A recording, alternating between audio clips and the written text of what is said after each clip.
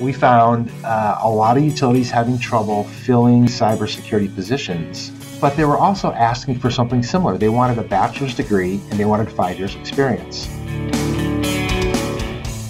Hello, everyone, and welcome to the Industrial Security Podcast. My name is Nate Nelson. I'm here with Andrew Ginter, Vice President of Industrial Security at Waterfall Security Solutions. He's going to introduce the subject and the guest of today's show. Andrew, how are you?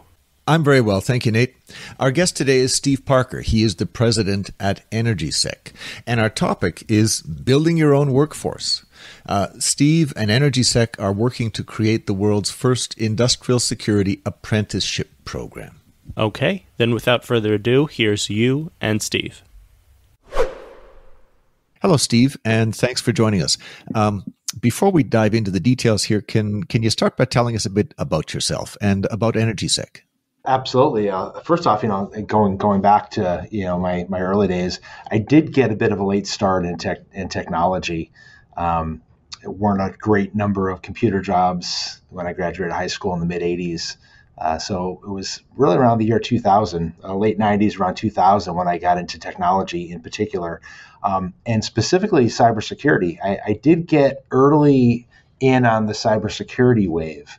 Um, my first full time job in cybersecurity uh, was in, in, 2000, so relatively early uh, from this uh, from this profession. And I think I've had a had some luck. and got a, got a few breaks along the way. Um, I think the big one was in 2001. I had an opportunity to join a burgeoning cybersecurity team at a electric utility by the name of PacifiCorp, a very large investor-owned utility based in Portland, Oregon, and had no idea what I was in for when I started there. But it's been uh, quite quite the ride in the electric sector. Uh, spent about eight years there. Did just about everything you can do in cybersecurity um, a lot of project work, uh, did some mainframe security, did firewalls, did uh, forensics, investigations. Um, and towards the end of my career there, I got into this thing called NERC uh, burgeoning cybersecurity regulations for electric utilities. And then in 2009, I went over to the dark side for a little while and I became an official NERC auditor working for the Western Electricity Coordinating Council, or WECC, which was the compliance authority for the western part of the United States. So I got to see the regulatory side from the regulatory side. Um, was there for about 14 months. And then in 2010, I had the opportunity to join EnergySec full time, uh, and never really looked back since then. Now, EnergySec is, as perhaps some folks know, uh, we are a nonprofit organization. Uh, our roots go back to the early 2000s, where uh, we were a volunteer organization made up of professionals from the electric sector seeking to collaborate on cybersecurity, physical security, business continuity, and the uh, budding compliance regulations that were coming about in the in the mid 2000s. So I joined in, in 2010 as part of the, the leadership team, and then in 2013 I took over as president and have been leading the organization ever since. Uh, what EnergySec does, among other things, uh, we're very big on the education side. Uh, we do a lot of professional education around the NERC CIP standards. We do some around cybersecurity. We also produce events. Uh, for example, our annual summit is going into its 16th year this year, and we're happy to be back in person this October in Anaheim, California at the Disneyland Resort. So if you're looking for an excuse for a Disney getaway, uh, check us out. And you might want to come attend our event there. Uh, so we do a lot of things. Our, our overall mission is to help electric utilities be more secure um, in, a, in a nutshell. Uh, I also do a little bit of consulting. I'm a partner in a consulting firm known as Archer. Uh, and then from a certification perspective, I hold a CISA and a CISSP. I've had those for about 15 years. I keep paying them money every year, and they keep letting me use the letters. So for what those are worth. Um, so that's me. Cool. I mean, uh, you know, you're you're you're one of the originals. I remember back in the uh, you know the early 1990s, people were posting jobs. Different topic, Unix. Uh, needed 20 years experience in Unix in 1991. There were only two people on the planet that had 20 years experience with Unix. That was Kernighan and Ritchie. Um, you know, we're at the same point with industrial security. Uh, you know, people posting jobs needed 20 years experience with industrial security. Um, there's not that many people. You're one of them. So thanks for joining us. Glad to be here. Uh, our topic is, uh, you know, workforce development, building your own workforce. Um, you know, I understand that you folks are working on the world's first industrial security apprenticeship program. Can you talk about that? Give us the big picture. What is that? Where did it come from? Well, well first of all, I'm not 100% sure we are the first, but we are certainly probably early uh, early on in, in this model. Um, I think I, I want to play off something you mentioned. Uh, you know, you mentioned you know 1991 people asking for 20 years experience uh, on Unix we see the same thing happening now with industrial security. Um, in particular, uh, I'm going to go back about oh, probably six or seven years ago. Uh, in you know, in talking with utilities and looking at job postings that were out there, we found uh, a lot of utilities having trouble filling cybersecurity positions. But they were also asking for something similar. They wanted a bachelor's degree and they wanted five years experience, and very very difficult to find uh, professionals at, at, that level. And so, you know, I started getting the idea. Well, you know, maybe we should we should build our own. And I started thinking about apprenticeships and the apprenticeship models. Uh, in the electric sector, it's used very widely in other professions. Uh, meter readers back when we had meter readers. Uh, today, linemen, uh, various journey level tradesmen from communication engineers to power systems engineers. So the industry is familiar with the models, but uh, for some reason, it's never been applied to the more technical professions. Uh, you know, IT, for example, or cybersecurity um, in those areas. So I began thinking, you know, wouldn't it make sense to apply the model uh, of, of, building and developing your own workforce rather than complaining that you can't find people with the requisite experience?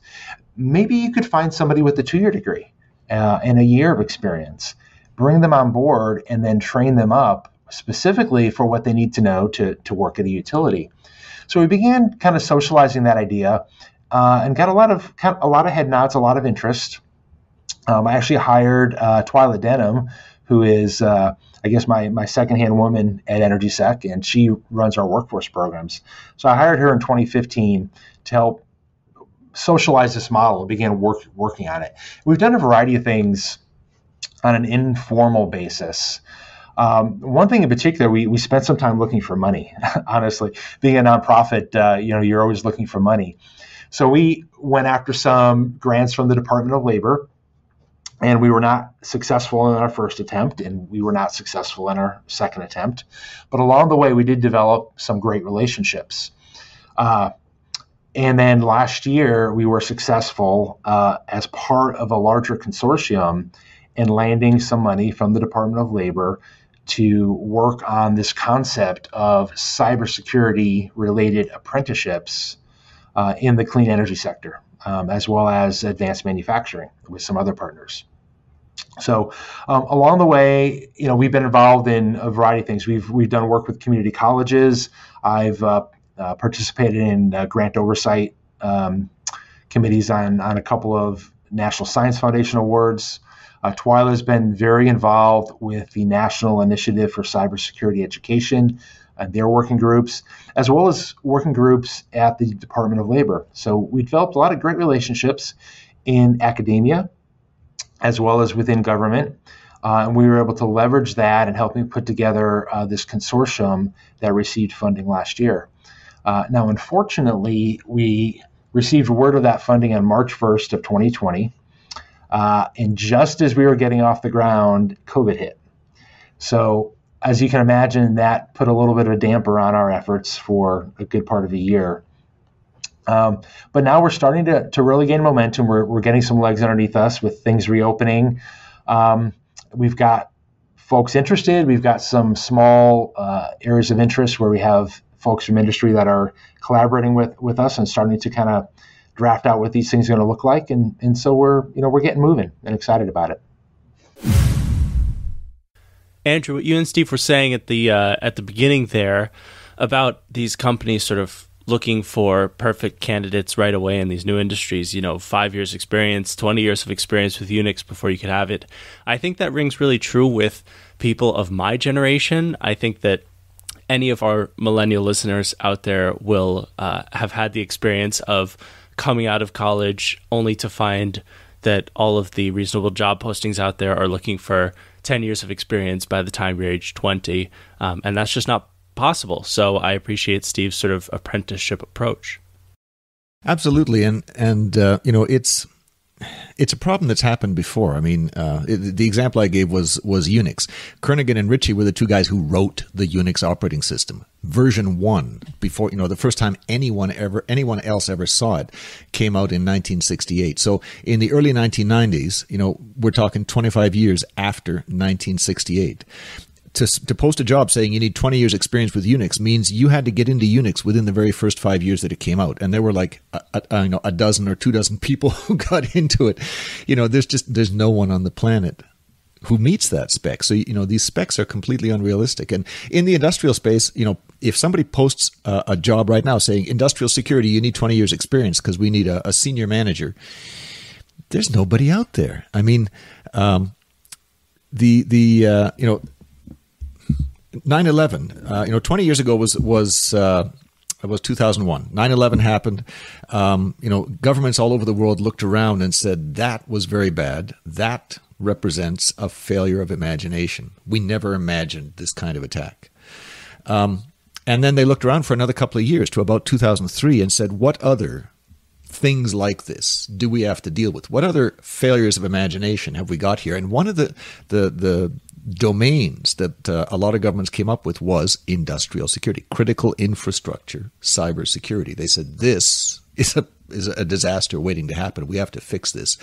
And the big initiative started in 2003, 18 years ago. You want to know who's got 20 years experience in industrial security? You know, Eric Byres was was writing papers on this before 2003. Joe Weiss was writing papers. There's a, you know there might be 10 people in the world who are active in the space 20 years ago. So you know, a you've got to be realistic, and b yeah, there's a real need for for uh, bringing people up the learning curve into the workforce here. So maybe that can be of some comfort for listeners out there looking for work right now, right? Absolutely. I mean, uh, you know the fact that there's unrealistic job specs posted means go ahead and apply. They're not going to find who they're looking for. You know, uh, you know, let them find someone good like you. So, can you go a little deeper for us? Um, you know, the the industrial security space has a lot of different roles, a lot of different specialties. You know, I mean, everything from you know people with PhDs in in engineering and, and other topics to you know people fresh out of school, uh, you know, learning the ropes. Can you talk about the level of this program? You know, who who are you targeting as coming into the program? What kinds of roles are you training them for? Well, it's a good question. We get asked that a lot. Um, it's a difficult one to answer because, uh, you know, the short answer is all of the above. You know, we're we're looking at programs that will build the workforce um, in you know electric electric sector in particular being our niche but I think as we put models together, those can be replicated across other areas of critical infrastructure and industrial security. So we aren't necessarily looking to create just a single program. What we're looking to do is really break ground on the model of building your own workforce, so to speak. So uh, we will we will have a variety of, of approaches. But with that said, there are a few a few key areas that we'll be putting most of our effort into. Uh, one, because we are funded, uh, at least portions of our work are being funded by the Department of Labor in the U.S. Uh, formal apprenticeships are, are going to be a key part of that. Um, that's what the Department of Labor wants. So we'll be looking at those. Now, those are you know usually seen as entry level positions. I, I, think you think of an apprentice, you think of somebody who's perhaps just out of high school. Um, maybe they've had a little bit of college, so they're fairly early in their career um, although they don't necessarily need to be. Uh, apprenticeships can be applied at mid career folks, uh, individuals that are maybe changing their career focus or want to pick up some additional skills for additional responsibility. Uh, folks transitioning out of the military, military for example, uh, bring a lot of very practical experience and education that they can apply into into this area. Uh, and so, using an apprenticeship model to leverage their existing skills and experience, and then fill in the gaps, uh, could be a could be a great model. So, with that in mind, uh, I just want to do a, do a, a, quick recap on what an apprenticeship is. Um, and there's a few key aspects in the in the model. First of all, a job. So, so an apprenticeship, you are actually working while you learn, and that's a very key piece of it. So obviously, there's a certain level of background experience and knowledge that's going to be required, but not necessarily a great deal. There will be on-the-job training. So it's a work, learn while you work. Um, so you'll be doing things that add value to an employer while also learning and growing your skill set. So there's an on-the-job training component. There's also related technical instruction or classroom instruction that would accompany that. Uh, that could be provided by a college or university or in many cases, it's provided by industry organizations or labor organizations. And we're looking at all of those models. There's also mentoring. Uh, with an apprentice, usually there's a, a coworker uh, that's at journey level or higher level of experience that will oversee the on the job learning, uh, provide mentoring and individual instruction. That can be a bit challenging when we're building a workforce that doesn't exist in the quantity that we need. So we're, we're looking at ways to innovate on that.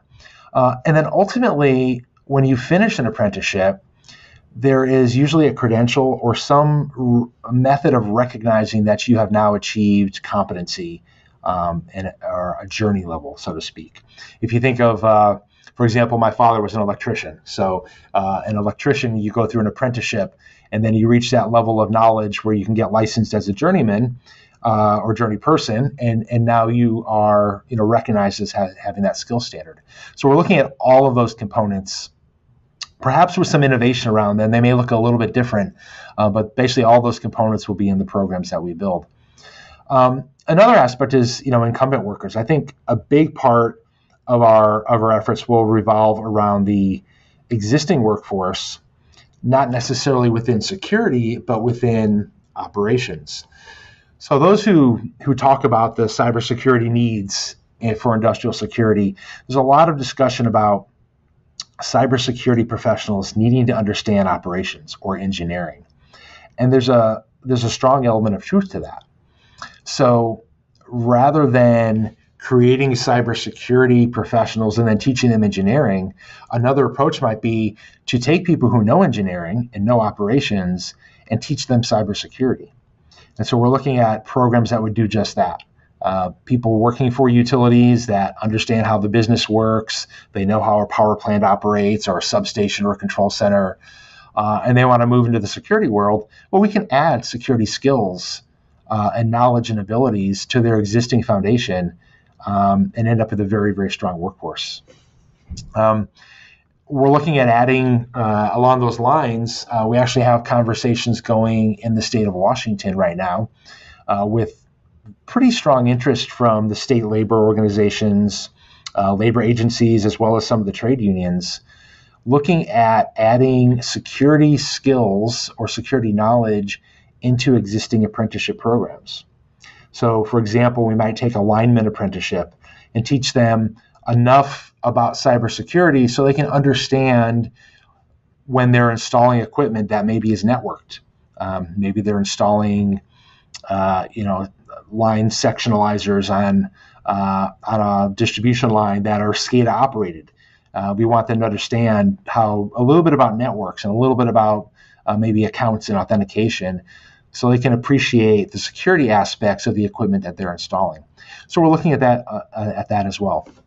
So, you know, in summary, uh, we will not be creating a single program. And I think there's an opportunity to use this model really across all aspects, all levels of, of knowledge and experience from entry level through mid career, and even people who are fairly advanced in their careers.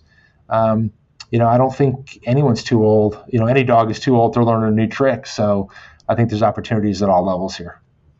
So, so what I heard is is that you know you've got let's say the the the people who are not really who are not new to the the the, the workforce they're not entry level they've been there for 10 15 years they're designing let's say uh, you know new systems and putting them in um, and they need some security knowledge so this is sort of a, a crash course in security for people who already know what they're doing and need to expand sort of their, their scope of knowledge. But on the other end of the uh, of the scale, you know, that's the the end I understand less. Um, you know, when when you talk about you know helping out with with uh, entry level positions, what is an entry level position in the in the electric sector? You know, uh, are we talking I, am guessing we're not talking people who who disassemble malware. That's that's sort of a specialty. What what does an entry level person do with with industrial security in, in the electric sector? That's that's a very good question, and I, I think it's one that we don't have the complete answer yet. Um, cybersecurity tends to not be an entry level profession. Uh, at least traditionally, many people came into security from other aspects of technology. Um, my own personal experience, I started off doing desktop support um, and then moved into server support and uh, got a break early on, move, moving into cybersecurity. Uh, as the profession matures and as security teams get bigger, I think there's an opportunity for more differentiation in roles. And we've seen some of the larger utilities starting to break down those roles and starting to define career pathways in cybersecurity. So, an entry level position might simply be working at a security operations center, uh, reviewing logs, uh, responding to alerts, things of that nature. But from an apprenticeship perspective, it could start even before that. Um, for example, it's come up in conversations with uh, some utilities, perhaps looking at their desktop support teams or their server support teams where you're not starting in security, you're starting in technology at a utility, and then you're learning security along the way. So when the time comes to move into that security role, you already have at least a portion of the knowledge and skills that you need to serve that role. And then you can continue to expand your capabilities as you grow in your career pathway in cybersecurity. So I think there could be multiple entry points, and that's something that we're that we're exploring. I, I don't think it's completely answered yet. Waterfall Security Solutions is the OT security company. If you're wondering what is the difference between a unidirectional gateway and a firewall, or a so called unidirectional firewall, then you'll be interested in Waterfall's latest ebook. Firewalls are used throughout both industrial networks and enterprise networks. But best practice demands something stronger, something truly unidirectional at the IT OT interface. To see the difference that unidirectional security makes, please download the free ebook, Firewalls versus Unidirectional Gateways from the Waterfall website under the Resources menu. I'm listening to to Steve here. Um, something I did not ask him was sort of are there analogies for this kind of program out there in the world? But as I'm listening to him again, it occurs to me. You know, he mentioned he has a CISSP. I have a CISSP credential as well, Certified Information Systems Security Professional. Um, that credential, yeah, you've got to write a test. It's a three-hour test. You have to get a really high score on it. Um, but that's not the only requirement you also need four years professional practice. Now, there's no requirement in the CISSP program that you're you're mentored through the practice or that you know you're you're apprenticed. They they just say you have to you have to work for four years in the field full time, and then you can get the credential. So I have the credential. Um, so that's sort of one end of the spectrum. Um, sort of in the middle of the spectrum, I think, is the engineering profession. Um, in a lot of jurisdictions, my own, I know I live here in Alberta, Canada. Um, the government has mandated a group uh, in in Alberta. It's uh, you know APEGA, the Alberta Professional Engineering Geologists and Geophysicists Association. They manage uh, this these professionals and the engineers, especially um, if you're working on a safety critical stuff like designing a bridge, you've got to stamp everything you produce. You've got to say, yes, I've certified that this design is safe. And uh, when you graduate university, you can't become a member of APEGA and a, a, a professional engineer in good standing the day you graduate. Doesn't matter that you've passed all your tests. There's a period of, I don't know, two or four years or something where you have to work in the profession. And in that time, you're supervised very closely because you can't stamp your own safety critical papers. Your boss has to do it. You don't have a stamp yet. You're not uh, a full fledged professional engineer. And so the boss is stamping everything you do. And so the boss is looking at you really close to make sure you've done it right and giving you feedback when you've messed it up because it's their stamp it's their career that's on the line if they stamp something that isn't safe and you know a catastrophe occurs so that's sort of a more structured approach. Again, they don't call it an apprenticeship, but you know the the apprenticeship seems to be on the other end of the spectrum, where they're saying, you know, um, you take a course or three, you do some work, you're closely supervised, you take some more courses, you do some more work, and it's sort of a structured way to to get this combination of training and experience, as opposed to sort of these unstructured credentials in in other disciplines. And was that around back when you were getting started? Did you sort of get out of college and then do this whole professional path? No, it, it wasn't at all around. I mean, as far as I know, this is the first time there's this apprenticeship thing happening. Um, you know, my own path, I uh, I wound up, you know, I bounced around between between roles for a while, and I wound up sort of settling into building industrial control systems, leading, uh, you know, software development teams um, you know, drifted from that. The next project the business needed me to do was, uh, you know, building middleware, connecting control system networks into enterprise networks, connecting control systems to the the enterprise resource planning systems, SAP in the day. Um, and then, you know, when that project kind of was done. We had the product; it was out there being sold. The next thing they needed me to do, you know, by then the the, the company had morphed, been sold, uh, you know, renamed. It was now Industrial Defender. They needed me to uh, lead the development of the the world's first industrial SEM. So I looked around and said, "Well, SEM security." Um, you know, just like I did with the the middleware product, uh, you know, I had to learn about this space. So I went out and read, uh, you know, a half dozen books. Um, you know, uh, now you know I, I I'm a I'm a I'm a techno geek. You know, I was able to get into it. I I didn't mind reading a half dozen books on the topic. I did take I think one week of formal training, but no, I I just I just drifted into this. So, do you think that back then you might have benefited from the kind of apprenticeship that uh, that Steve is talking about? I probably could have. Um, you know, I had to, you know, figure out on my own which books were worth reading. I read a bunch that weren't worth reading, that really weren't relevant. Um, so yeah, a little more structure really, I, I, think, would have helped. And you know, let's face it, not everybody's the techno geek that I was.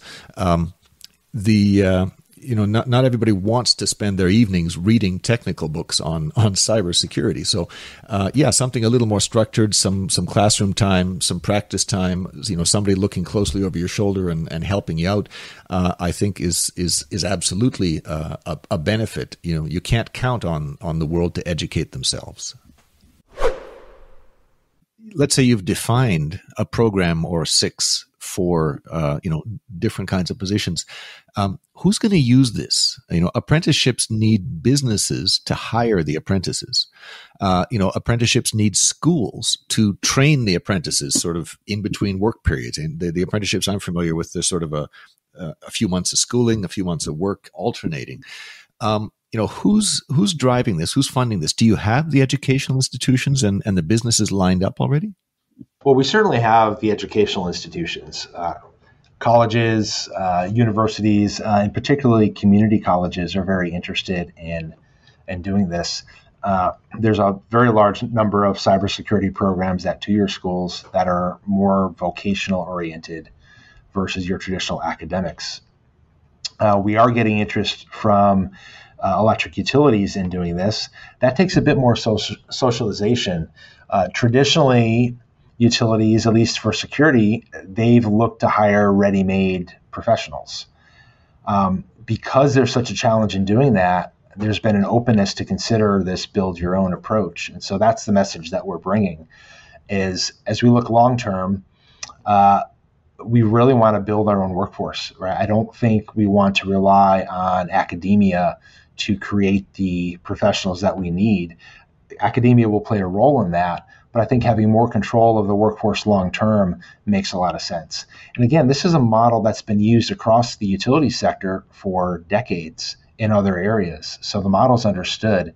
It's just a matter of uh, socializing the idea and getting buy-in that we should be doing the same thing for cybersecurity. Uh, we definitely have interest in that uh, as we look to build out some of the early programs. Once we prove the model with those early adopters, I think there's a strong uh, possibility. I'm, I'm, very confident that there'll be a lot of interest and it will gain widespread widespread adoption across the industry um, over the next several years. So, Steve, that that was a bit of an abstract answer. Um, you know, can you give me some examples of of people that you're working with? Sure, sure. I can tell you, we actually have a, a fairly broad ecosystem involved. Um, first, let me just go back to the Department of Labor grant. That is being led by Southern Utah University, um, out of Utah, obviously. So they're the grant lead. Uh, but we also have several partners on the grant. So EnergySec is a subrecipient on that grant. Um, we have Washington State University assisting. Uh, they're helping with grant management as well as our industry, kind of driving some of our industry uh, back and forth.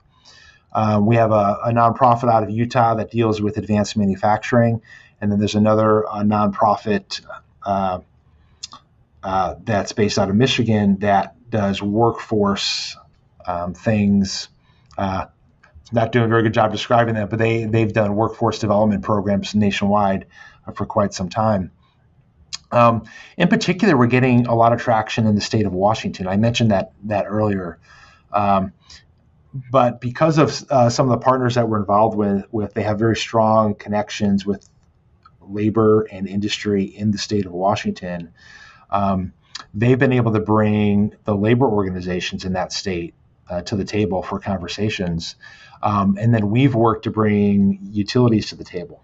Um, so I, I, don't think I can name any specific utilities, but uh, we have several of the uh, larger public power entities in the state of Washington, as well as one of the uh, large investor-owned utilities that have had conversations with us. They've agreed they want to be part of this process as we work through this and and, and build this out.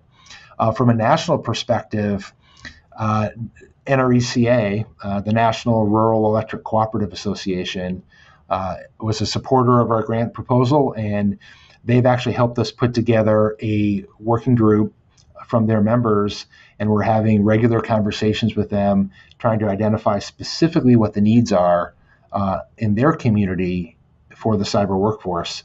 Uh, in hopes of putting together a program that meets their needs uh, specifically. So we definitely have uh, help at multiple levels, and we're, we're getting increasing involvement from industry on this one part of of uh, Steve's answer there I found interesting. I'm I'm very curious to know what the NRECA comes up with. You know, NRECA is National Rural Electric Co-op Association cooperative. These are electric co-ops that are serving typically, you know, small towns, rural areas, farms. Um, they tend to be fairly small utilities. I mean, they have a, a, couple of big utilities in there, but most of the, the organization is tiny utilities. And I am curious to know in these small utilities, what you know, what what are they hiring in terms of industrial cybersecurity skill set? You know, I'm I'm guessing um, they're going to need more generalists than specialists. I'm guessing that they're going to need people that have experience or that you know training or, or inclination to work with small organizations where everyone's a generalist, where everyone's doing three jobs. Um, you know, what does that translate to into your training programs? I, I am curious to see what comes out of this, you know, in terms of what the, the NRECA members need versus what very large utilities need. So one part of your answer surprised me there. You know, I know EnergySec to be all about electric power, and the examples you've used, you know, utilities, NERC even the NRECA, that's all about electric power, different aspects of the electric industry. But you mentioned manufacturing is your scope here the electric sector, or is it is it broader than that? Well, our scope is the electric sector. Uh, with the grant, we have uh, advanced manufacturing uh, as part of the grant, and that's being led by an organization called WestCamp, uh, and they operate in the state of Utah, um, supporting manufacturers in that state. Uh, they've been around for about 30 years, and so they're driving the manufacturing side. So while EnergySec is not directly involved in that, I think we will have the benefit of what's developed over there, uh, lessons learned, and we can certainly apply those uh, in our community. So, can we talk about uh, sort of the, the the bigger picture of of training and certifications? You know, how does how does an apprenticeship fit into that bigger picture of you know degrees and certificates and whatnot? Well, as I mentioned earlier, uh, traditionally with an apprenticeship, when you complete the apprenticeship, uh, you get at least a certificate or some some acknowledgement that you've completed the program, and that is typically portable within industry. So if you become a journeyman electrician, you can go work for any electrical contractor in, in the nation, right? You can get licensed in any state. Um, our Department of Labor grant specifically requires that any apprenticeship we develop lead to an industry recognized credential. So that could be an existing certification, uh, or it could be something new. Uh, and from EnergySec's perspective, we are very interested and we intend to develop some new credentials um, that will be approved and accepted by industry. So we'll obviously work with industry and, and get buy in on these. Uh, so as the programs are completed, uh, there will be an opportunity to obtain that credential. Um, now, you know, talk about training and certification and credentials and the different terminology. One thing in the security world, there's a lot of certifications and most of them tend to be knowledge based. So you you take a class, you take a test, you pass the test, uh, and then you obtain your certification. Um, that's how I got my CISA. That's how I got my CISSP. Some of them require some work experience, and others may have some other other requirements. But the credentials that we're looking to build, we want them to be competency based. We we want the evaluation to assure that those who receive the credential have the ability to do certain things um, at some level. So it's not just a, no- a knowledge test. Take, taking up a, a, bit of a notch.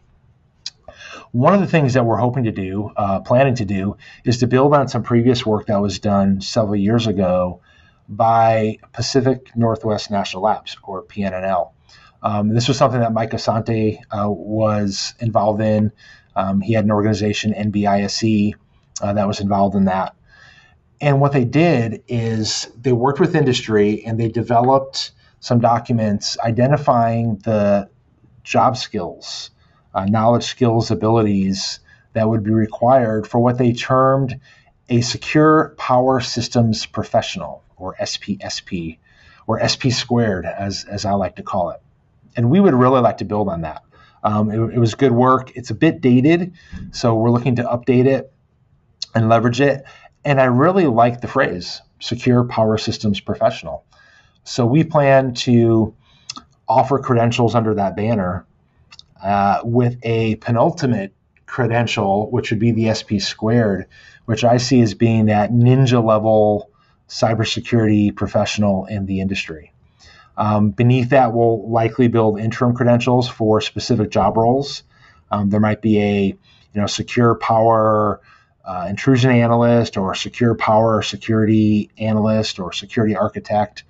Uh, and we'll work that out with industry through the groups that we're, we're, we're working with now and, and additional advisory groups that we put together uh, to see how that, how that builds out. But again, the important thing is demonstrated competency, not merely a knowledge check. You know, Andrew, I'm just curious. Um, how many new people are coming through programs like the one that Steve is, is talking about? Um, how many people are getting these certifications every year and entering the industry? Short answer is, is I don't know. Um, and you know, to an extent, I can't know because you know Steve's programs don't exist yet. They're they're still developing them. I do have one statistic though. This was a couple of years ago. I saw a study had been done in uh, North America of CISSPs. Now, CISSPs are cybersecurity generally, not industrial security specifically, but generally, they did the study and they reported look, in North America, there was at the time something like 65, 68,000 CISSPs registered with the with the the organization. They, you know, there that's how many there were in North America, and they the study was uh, of job postings, and they said they found uh, forty eight thousand job postings open in North America requiring a CISSP. If you wanted to get hired for the job, you had to have a CISSP. Well, most of the 68,000 people in North America who had the CISSP had jobs already. where are they going to get another 48,000 people? So there does seem to be a demand for, you know, cybersecurity generally, and, you know, I'm assuming industrial security uh, specifically here. That just seems like a massive gap to me. I wonder why it's not being bridged more. You would think that maybe with, with higher wages, or maybe is it uh, a knowledge thing that lots of people just don't know that they could enter this industry with certain skill sets. I mean, I can tell you that for my generation, a lot of people um, have been attracted to jobs in programming just because. Um, because of the demand in that industry, they offer high salaries, and so people who would otherwise do other things end up becoming coders. Um, why is that not the case in industrial security?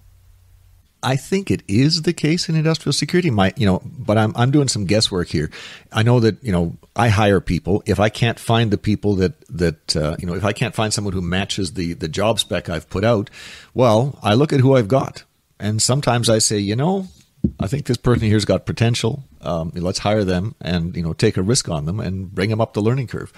And I'm guessing that this happens because you can't get a CISSP straight out of school. As I said, there's a, a four year professional practice requirement. You first have to get a job that doesn't require a CISSP before you are eligible for the, the credential, even if you've passed the, the, the knowledge test. So my guess is that a lot of these people who are posting for CISSPs had to hire somebody else.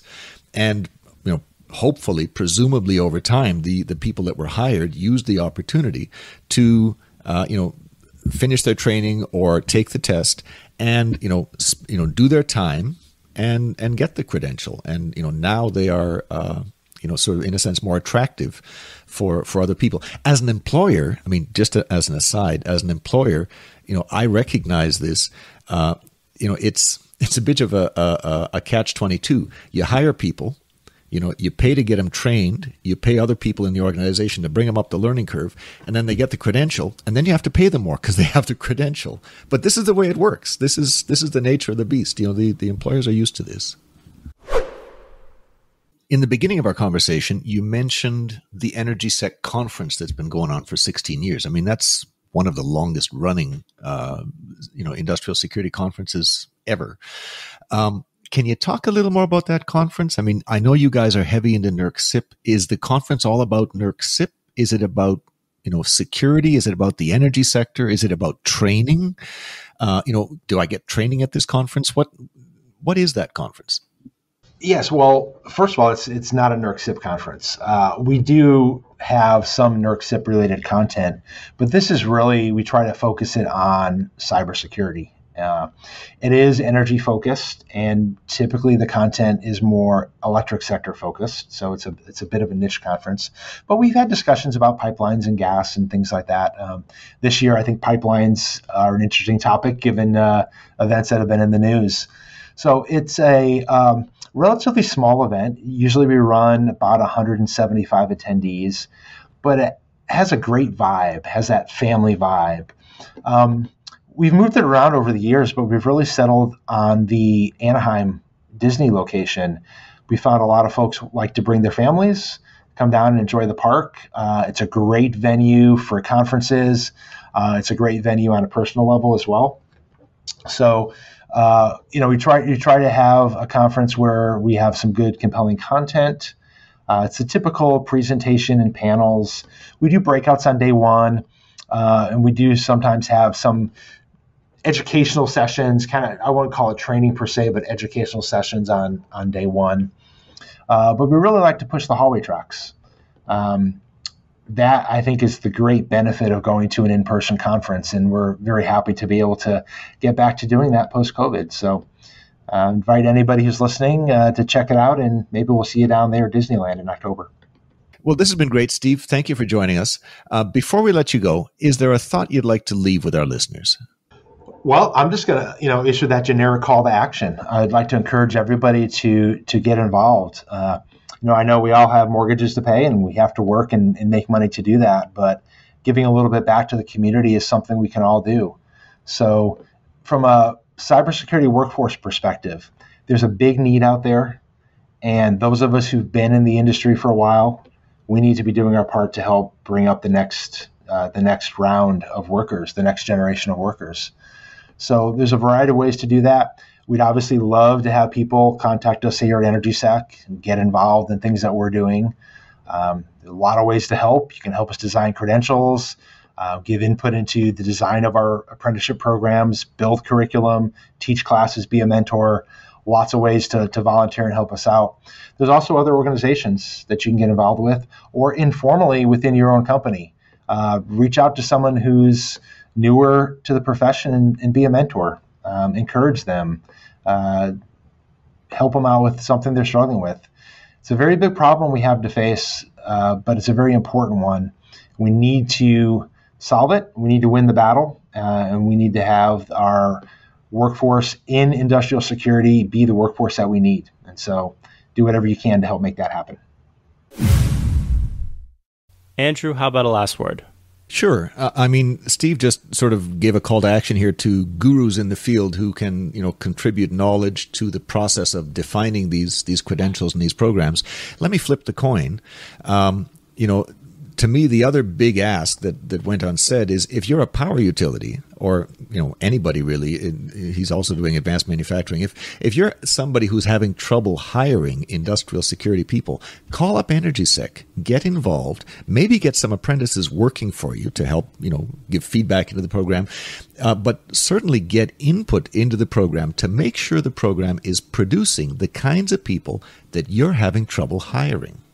And yeah, on that note, I'd just like to throw in a last word of my own. Um, you know, over the years, I've been able to speak with a few of our listeners who come across our podcast because they're new to industrial security. They find us, you know, everything's a little confusing to them. You know, talking about this stuff can sort of help clarify things, but still, it's a it's a relatively intimidating industry, as we've talked about. You sometimes need to have years and years of experience just to have the right qualifications for the right job, um, and that can be a lot. So I think that your conversation with Steve really highlights, for me at least, that there is that path forward, that people out there should know that there are organizations looking for bright people who are interested in learning, even if you don't have that experience, that it should be very validating. So, for that, I'd like to thank Steve Parker for speaking with you, Andrew. And as always, Andrew, thank you for speaking with me. Always a pleasure. Thank you, Nate. This has been the Industrial Security Podcast from Waterfall. Thanks to everyone out there listening.